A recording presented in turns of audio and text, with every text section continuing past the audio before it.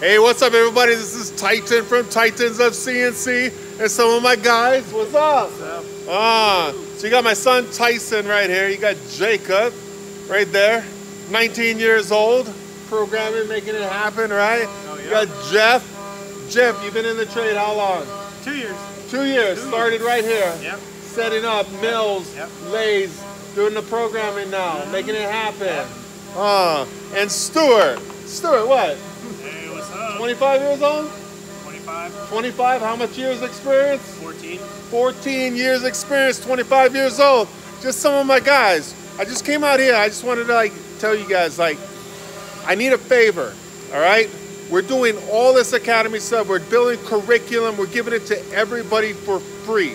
We have stepped away from different customers.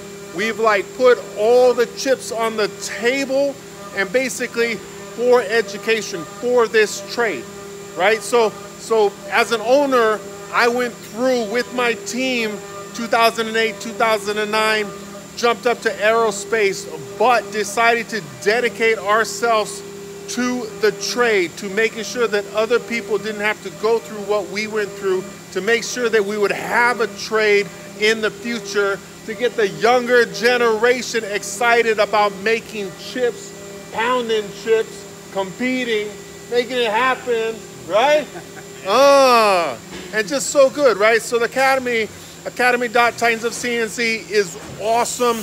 Teachers all over the world in 170 countries are teaching our kids how to make chips faster than ever before because of this academy, right? So please, right there in the comments, actually right in the description of this video, it's gonna say endorse and have a link.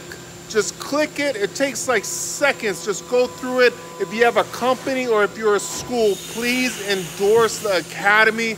We are dedicated to lifting this trade up. A lot of people talk about it, but we are actually in that grind, making it happen.